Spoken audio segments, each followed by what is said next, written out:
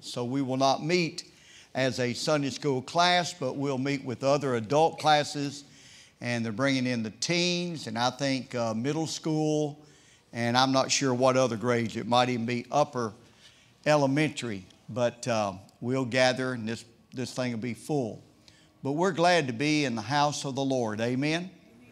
And uh, love God's word. We're looking forward to what God has in store for us. I appreciate Thomas Rouse and his faithfulness and always gets a, a song ready for us. And, and then his dear accompanist. I appreciate uh, Miss Joan, and uh, we appreciate her faithfulness to prepare as well. So let's grab a hymn book and let's sing one of the great favorites. Amen. We're going to do one of Brother Sloan's favorites this morning. It's number 78. When we all get to heaven, you can remain seated.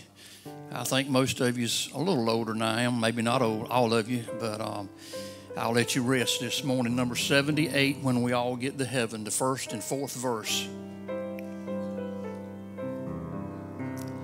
Sing the wondrous love of Jesus, sing his mercy and his grace. In the mansions bright and blessed, He'll prepare for us a place when we all get to heaven.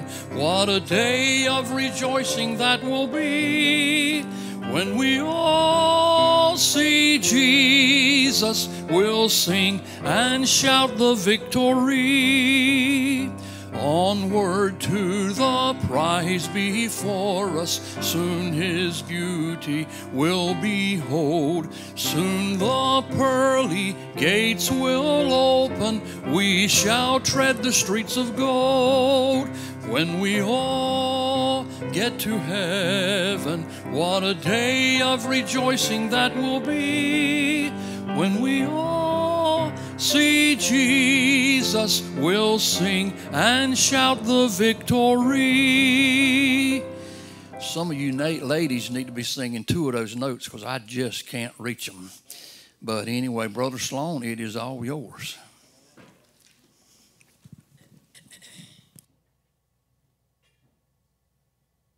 Uh, yeah, I've outgrown those high notes.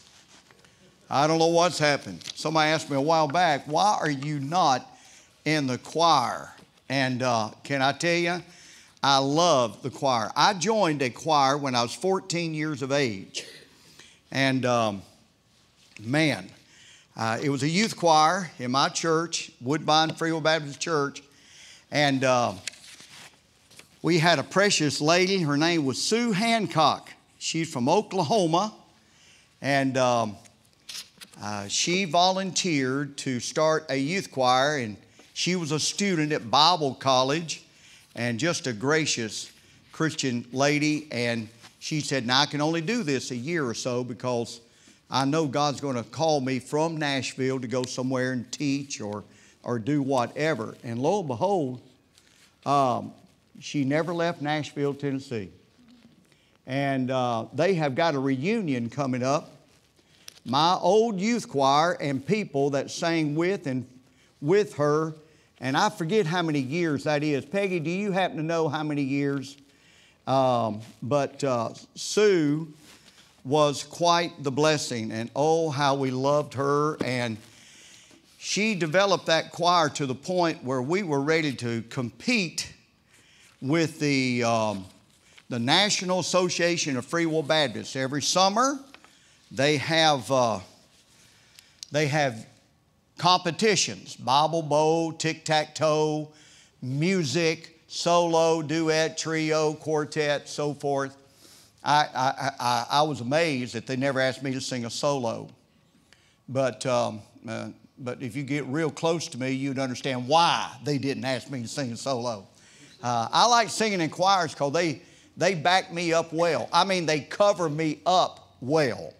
And uh, so, but I was in that U choir for a few years, and we went, uh, we went to, I think it was Wichita, Kansas one year. Um, I'm trying to think of another trip or two. Oklahoma another year, went to competition. In those days, they had a first, second, and third place. And three out of four years that Peggy was in it, at least two for me, but three out of four years in competing, we won the national, and that was out of about 25 choirs, and that was pretty good. And uh, but we enjoyed it. Sue was a blessing. When we all get to heaven, I, when Thomas told me last night what we were going to sing, and have you read the story in the background on that song?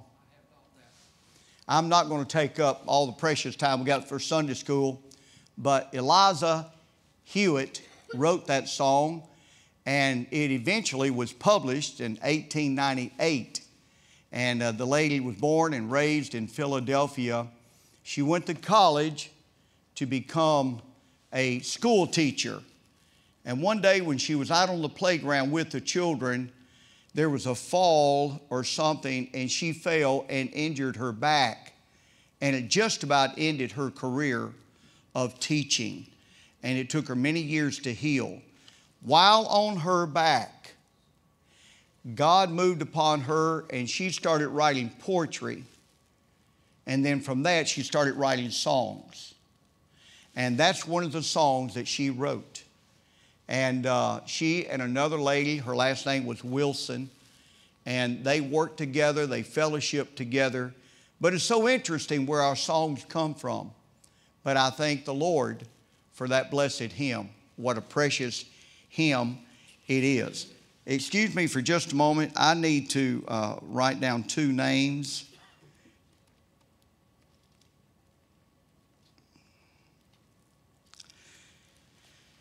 Um,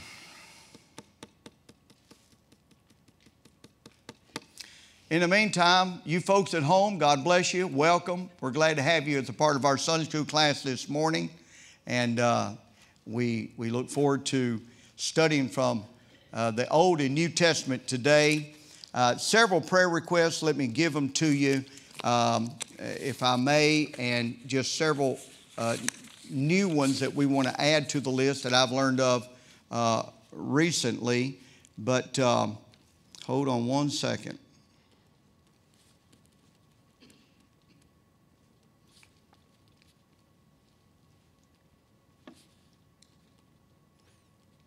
Okay, continue to pray for Miss Parks. I see Brother Al here this morning. Appreciate his faithfulness. And let's just continue to pray for him. Did she have a treatment this week, Al? And so continue to pray for Marlene. And that's about every other week now or so, right? Every three weeks. Every three weeks. So please keep her before the Lord. And then also, we're still bringing a meal out on Tuesdays, I understand. Is that correct? And we could use some folks to please sign up. And if you'd see Brenda Wales and, um, and, and Dennis, is Brenda back there? No. She's in the nursery or Tot Town or something. She's uh, in the three ring circus back there.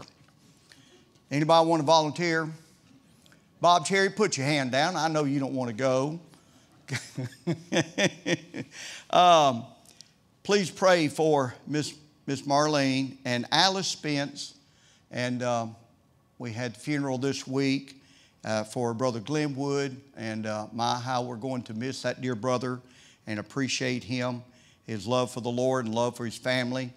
Uh, Sandra Cromer's mother's funeral is today, this afternoon, and the visitation, I think, is at. Is Sandra here? Bless your heart, sister. We're sure praying. Now, give us a little detail. The visitation is at 1 to 5? 1 to 4. No, just 4 o'clock. My ears are playing tricks on me. Miss Cordell, can I borrow two of your hearing aids? 4 p.m. Where? Hickory Grove Church in Bucklesbury. Buckleberry. Bucklesbury, Is that on the map? outside of LaGrange. Where is Buckleberry? Outside of LaGrange. Outside of LaGrange. I have heard of it. I've never, I don't, I may have been there and didn't realize it. But, uh, okay, four o'clock, and then the funeral's at five. All right. So be praying for this dear sister and praise the Lord for her mother and her testimony. And uh, we know she's enjoying heaven as we speak. Larry Mitchell, continue to pray for him. Pray for Eddie Smith. Let me just give you a, just a tidbit about Eddie Smith. He broke his hip five years ago. He's has developed an infection in his hip, and um, they took the uh, the artificial hip out, and they began treating him with strong antibiotics. I'm hoping that they've already pinpointed which infection it, or what type of infection it is, because unless you have the exactness of that, you do not know exactly which medication to use. It's a long story. He is taking treatments every day. He's on his way to take a treatment this morning. He'll leave about 11. Mike Marshall, did you take him yesterday? You're taking him when? Tuesday. He has to go seven days a week. Is it for five or six weeks? Six weeks. Okay. So every day back to Rocky Mount. And you pray specifically that they will get this treatment transferred to Goldsboro and him not have to make that trip. Is there any development on that or do you know? Not that I know. Not that you're aware of. Okay. Um, Evelyn Hill fell yesterday and broke her finger. And uh, did you know that, Dennis?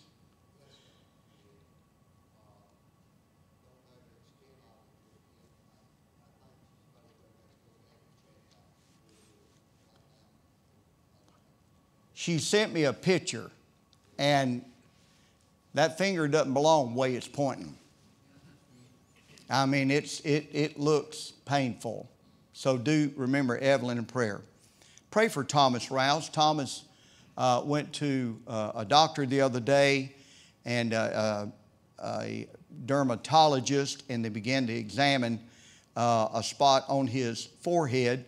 And he has asked us to remember him in prayer. He's going to the doctor on Tuesday, and um, and, and they're going to do further tests and analyze what this is.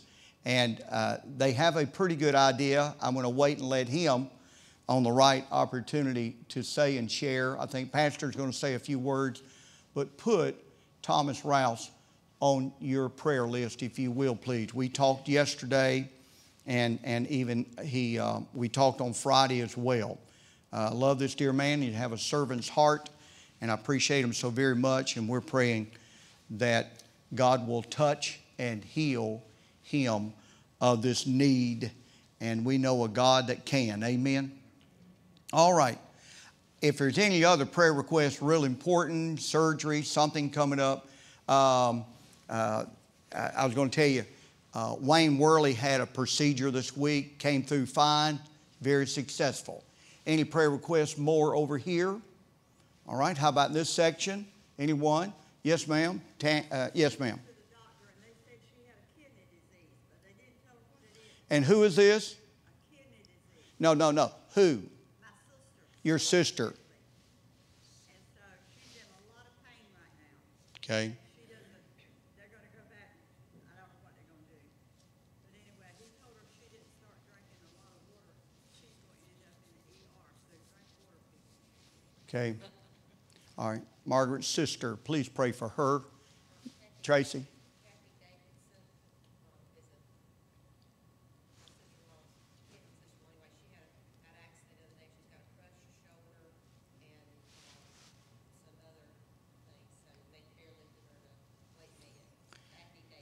Kathy Davidson Davidson. Kathy, okay, Davidson. Please remember this dear lady and this accident that she's had. Anyone here? Yes, ma'am. Roger's sister, Terry Hall. She has fourth stage cancer. And who is this again?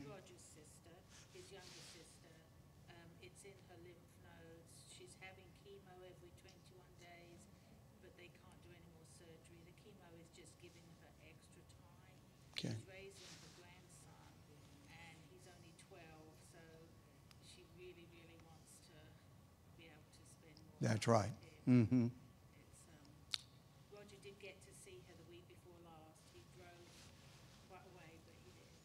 Roger's sister lives where? In Gilbert, South Carolina. Gilbert, South Carolina. Okay, near Columbia. Yeah. Unspoken request. Okay. How many of you have an unspoken request? God knows what they are and what the need is. Many of us, of course, in this section, Sheila, it's good to see you today. Been praying for you and you're, you're back in the situation. And Freddie's been doing a good job keeping me informed, updated.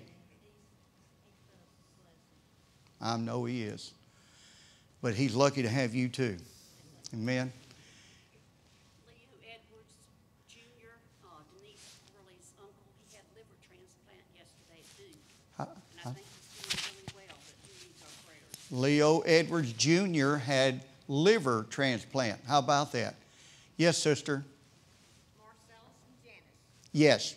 Please pray for Marcellus and Janice, and they've got lots of physical needs. Okay? And their daughter. Anybody else? Okay? Uh, anybody in the balcony? Any special requests? Anyone at all? Okay, let's go to Lord in prayer. Let's pray together and uh, try to remember these various folks and ask God to move upon them. Dennis Wells, would you please stand and open us in prayer this morning, please?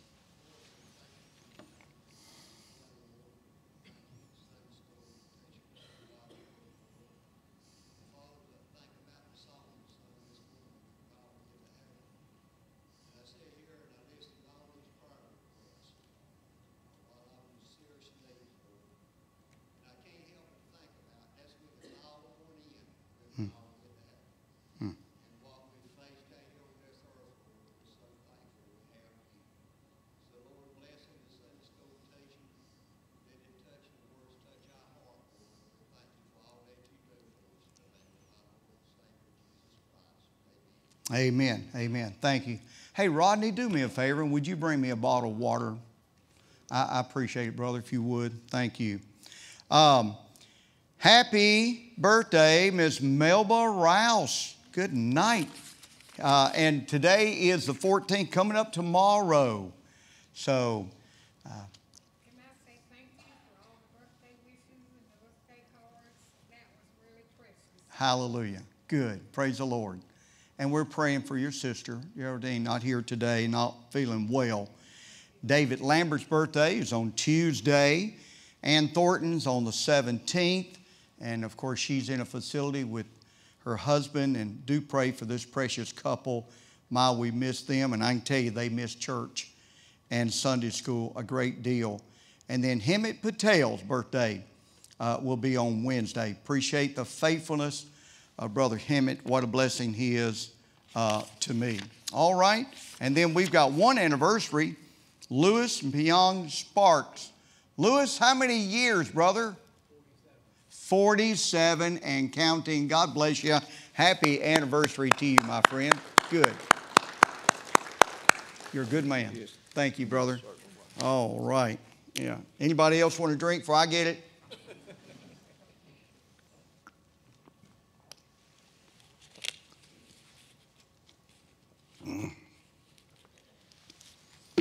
I like that H2O. Amen. Can you believe they sell bottled water? I, I got a story about that. Uh, where's Peggy? She doesn't want me to share that. Your brother, honey. You remember Mike went to Arkansas years and years and years ago at what?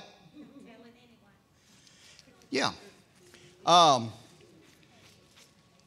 Mike, back in the, uh, I think it was the late 70s, early 80s, Mike came back from Arkansas. You know how it is, a lot of times uh, somebody will go to another state and they usually buy their kids what? A, a t shirt. My folks went to, you know, Puerto Rico and all I got was a t shirt. And Mike comes back and he brings this green bottle about that big. It looked like it was a liter and a half. And it was glass and it had a, you know, screw off top. And it was mountain spring water from Arkansas. up from the Ozarks. Anybody been to the Ozarks? You've missed it if you haven't. It's beautiful. Been to the Passion Play out there? Now, that was second to none. That's some good stuff. And uh, love to do it again. But he brought that big bottle, and I sat it in the living room in the corner, and it became a conversation piece. I don't know how long we had that bottle and I, until I finally decided to open it up and drink it. But I told Mike, I said, What'd you pay for this thing, man? And he told me, I can't recall what it was. But the thing, he said, all over the people buy, people buy that mountain water and they buy it in different size bottles, probably 12, 16 ounce, and then the big, big bottle. And, uh, and I said, you know, that, and we talked about it. Who would ever think about selling bottled water, waters, tap waters everywhere? But that was mountain spring water. How many of you buy a case about once a week now? I, we do. We go through it, and uh, I like that uh, spring water, and at least they claim it is, and it may be in somebody's kitchen. You know, tap water. We don't know. We're gullible. You know, we're Americans. We'll buy anything, okay? So, oh my, I got to get off that rabbit trail, okay? And I got to pick up my lesson. Yeah. I'm sorry I didn't have your lessons out here this morning. Honey, what was one of the last things I told you last night before I went into my study? I said, I got to go down there. I got to put my programs out. I forgot, and I'd been down here once already and didn't do it.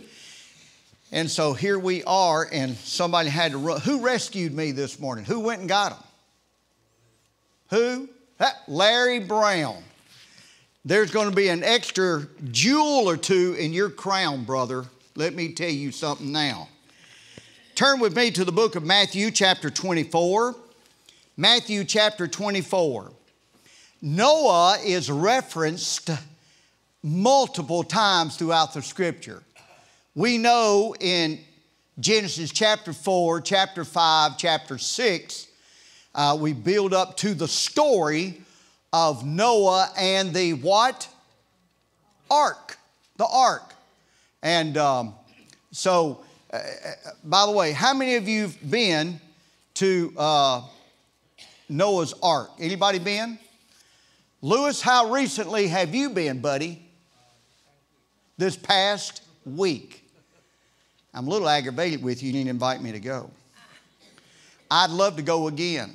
Uh, it, is, it is well worth your time and cost. It is, it is amazing. And it's been a few years since I've been.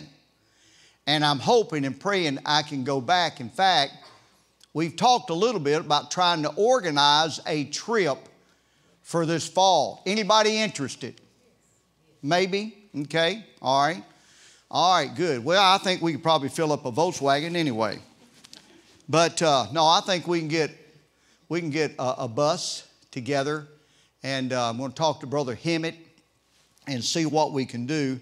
The dynamic duo will be back together. Y'all, I'm excited. I'm a little beside myself. Um, I've gotten until about June 30th, and I retire from administration again. I'm going to try retirement once more and see what happens.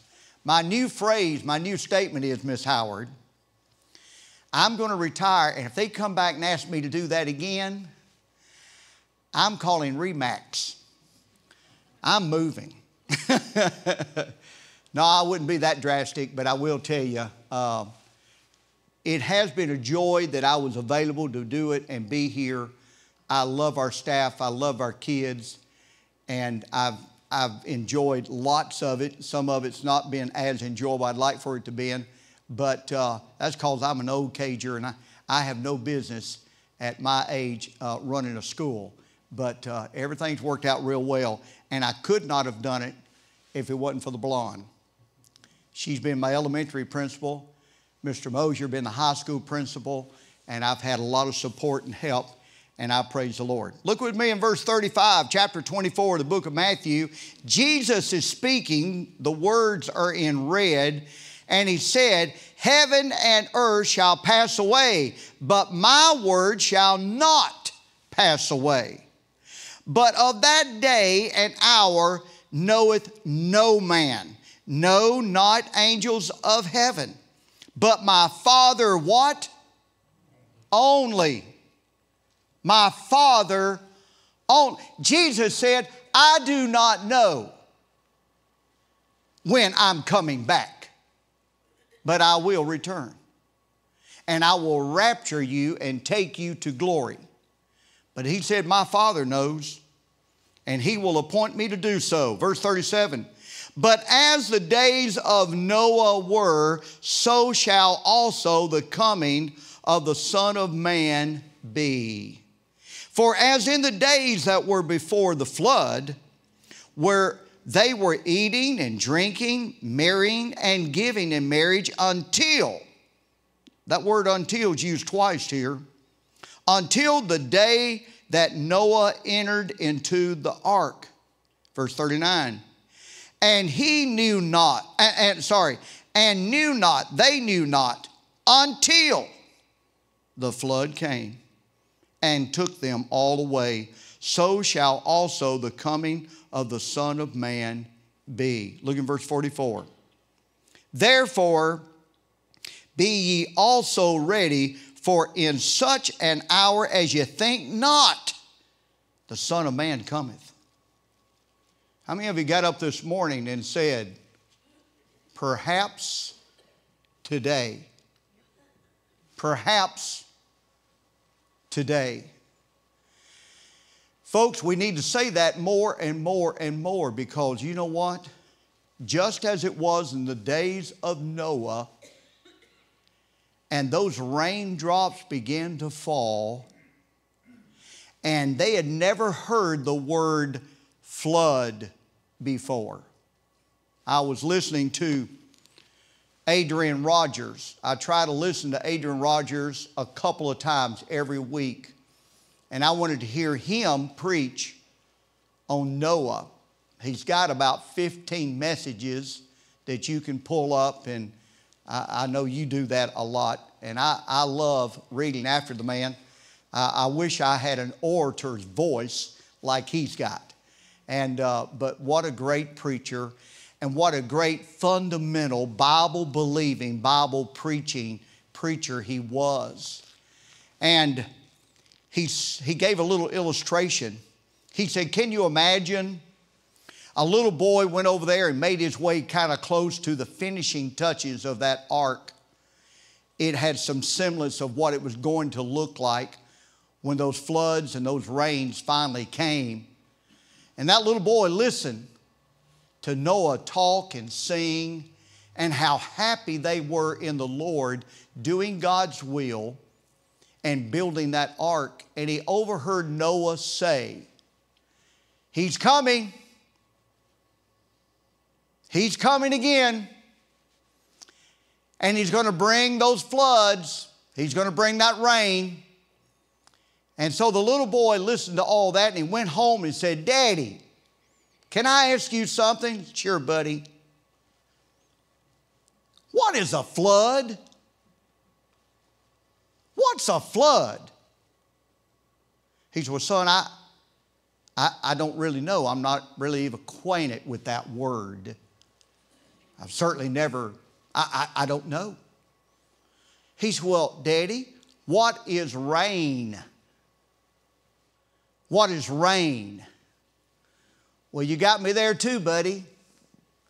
Because you know, at that time, we do believe, and Christian scientists, and I'm not really interested in what the other kind of scientists think, because they've got it wrong in so many other areas. But Christian scientists believe that the world had a canopy around about it, and that there was this dew, a heavy dew, that came upon the earth every single day. There was no need for rains and showers, that this moisture was there. And the world was not necessarily like the Garden of Eden. The Garden of Eden was so special, it was absolutely magnificent, it was a perfect place. And um, our dear forefathers got booted out of that, and we missed out.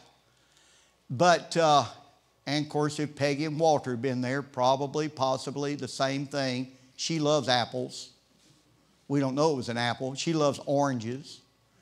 And, uh, but anyway, uh, just kidding. It'd been me to eat the fruit first. I know that's what she's thinking, and uh, might be. I eat a, try to eat a piece of fruit every day.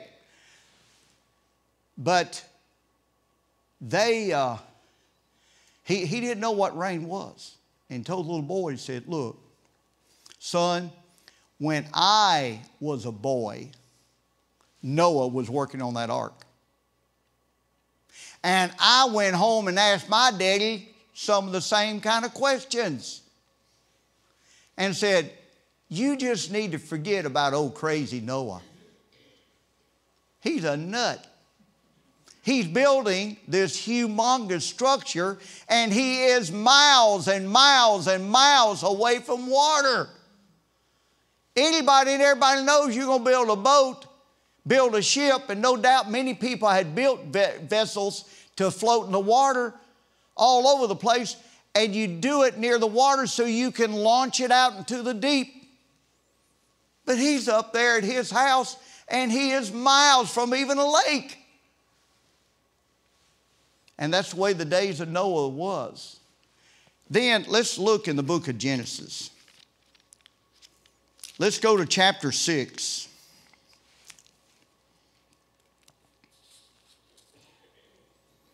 Chapter 6 And it came to pass when men began to multiply on the face of the earth, and daughters were born unto them, that the sons of God saw the daughters of men, that they were fair and they took them wives of all which they chose.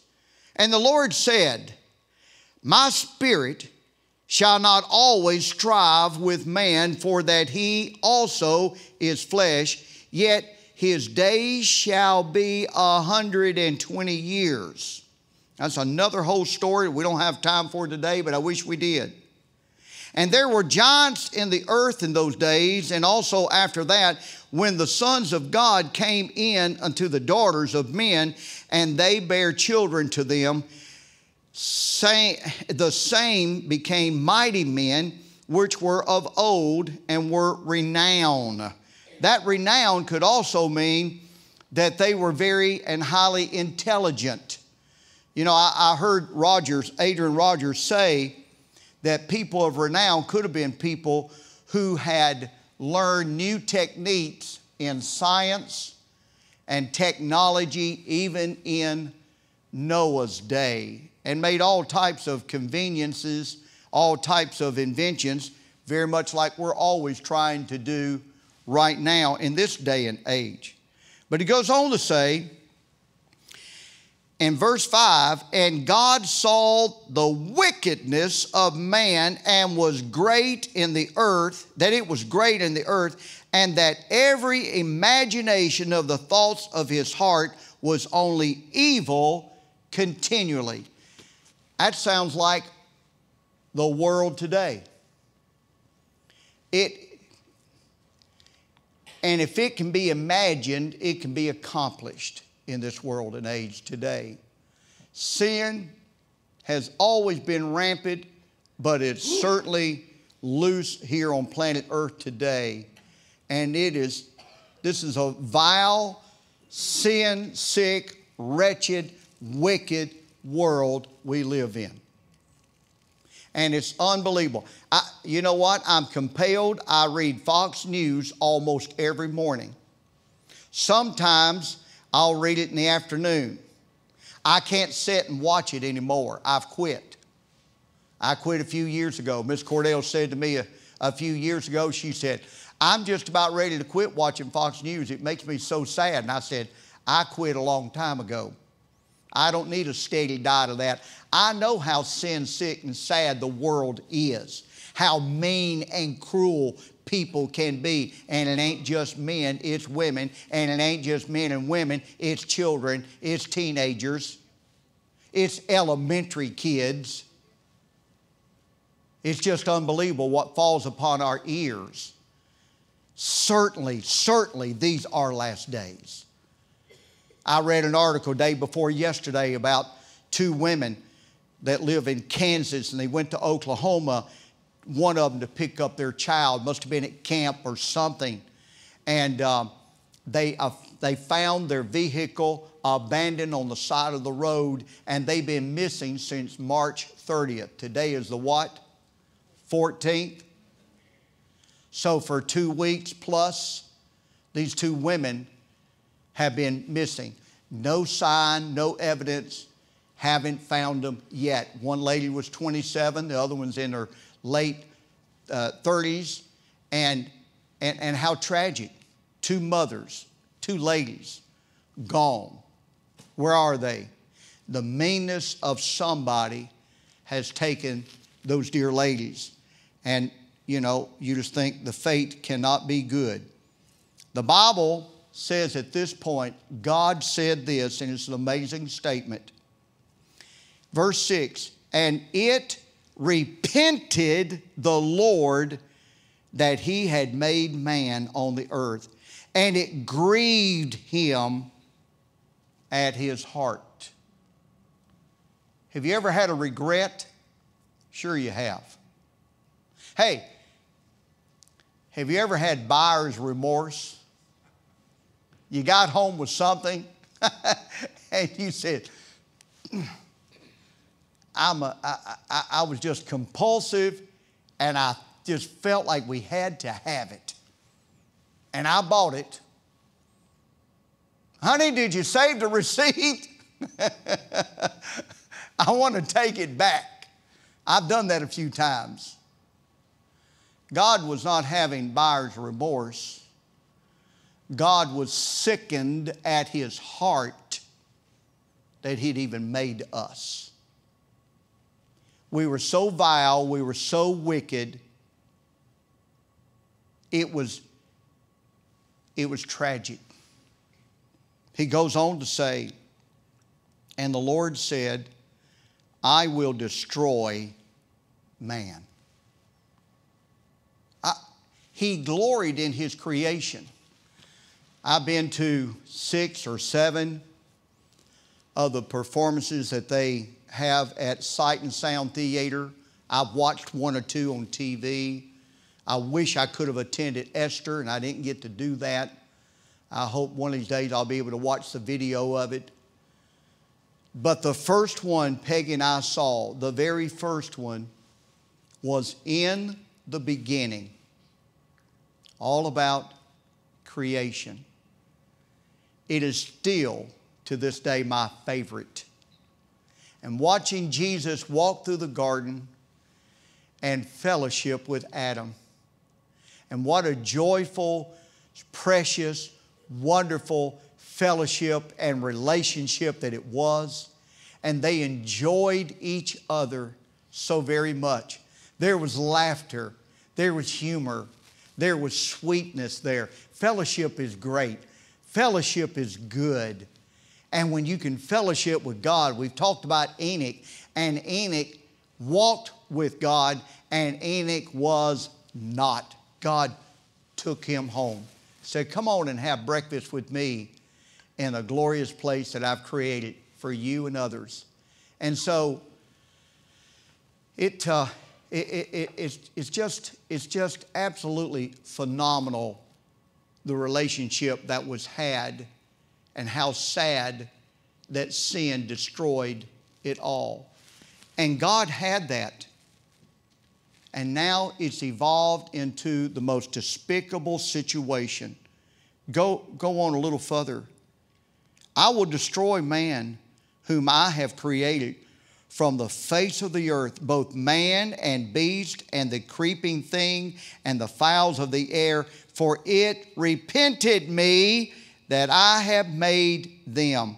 I have in parentheses here in my Bible, in this reference Bible, it says, I am sorry. I am sorry that I ever made them. And it hurt him so bad. And when God says something, he does it.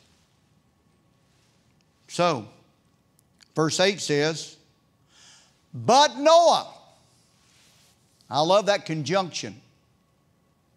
I love the fact that he found at least one family that had old fashioned ideas, that had commitment to God, who still had family altar, family devotion. They read whatever, but they worshiped their God in their home.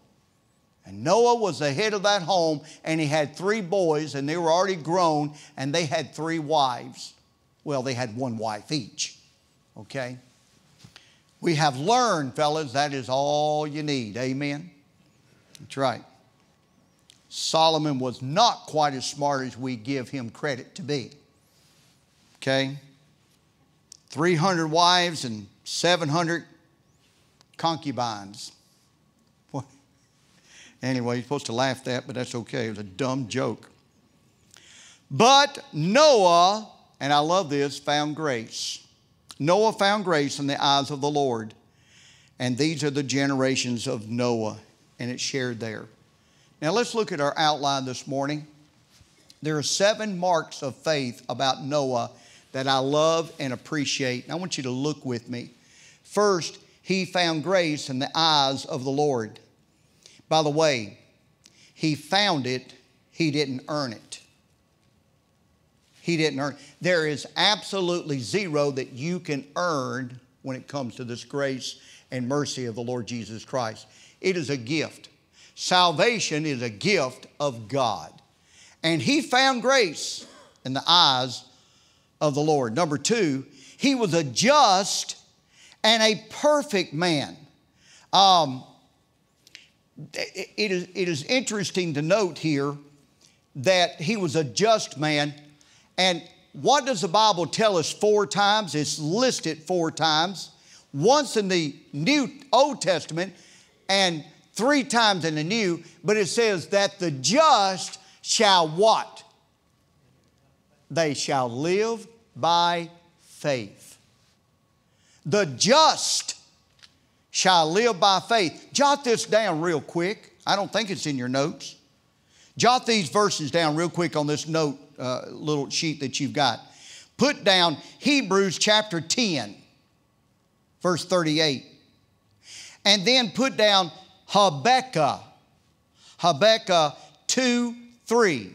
Habakkuk 2 3. Romans chapter 1. I can't tell you what verse, but you need to read the whole chapter anyway, It'd be good for you. Galatians chapter 3. I don't have the verse, but in Galatians chapter 3, all those references says, the just shall live by faith. You know what? You know what Noah did? Noah lived by faith. He trusted God. Uh, I think the next point is a wonderful point here. I like it. No, the next one is he walked with God. Enoch walked with God. Enoch probably, as we said before, had fellowship with Noah and talked with him some and knew about the experience. The next point is he listened to the words of God. When God came to Noah, when God came to Noah, he listened intently to what God was asking him to do. He said, Noah, I want you to build an ark. And he may have done just what I did and said, Say what? Build an ark. Uh, God, could you explain to me what that entails, what that means? And yeah, in fact, I'm going to give you some dimensions, son, so you're going to need a lot of lumber. And I want you to build it out of what? What kind of wood?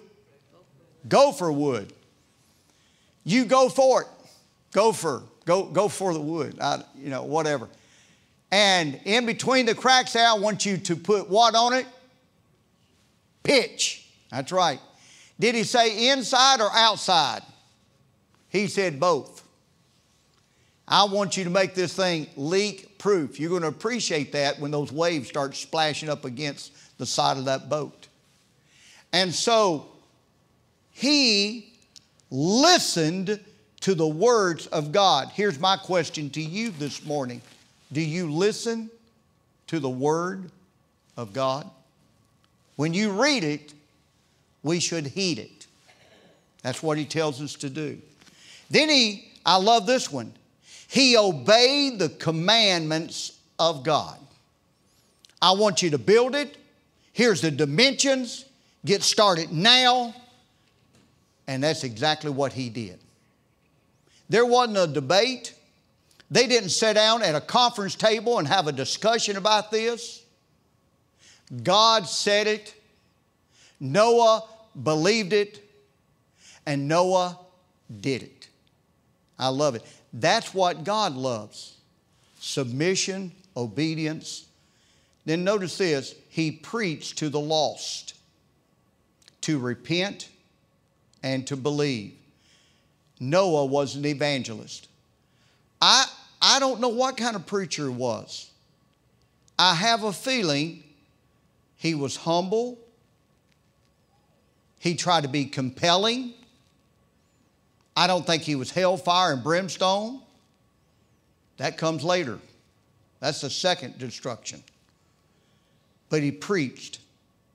And then lastly, Noah's faith is seen in his trusting God, believing in his word, and in an action of obedience.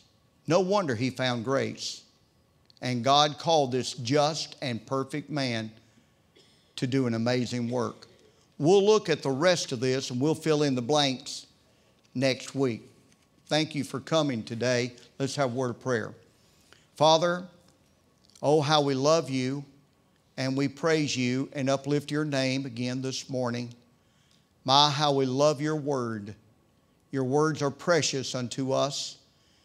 And I pray that you would help us to be faithful believers. Thank you for your great mercy and grace that you've sent our way. Help us to be faithful. Help us to be humble. Help us to be obedient. I ask you, Father, did you meet with us in a special way? Take and anoint and use our pastor. And Lord, anoint us as listeners. Do pray for those today. Perhaps someone to be here that's never come to know you as their own personal Savior. And we pray that today will be their day of salvation. And so we ask these things in the precious name of our Lord and Savior, Jesus Christ.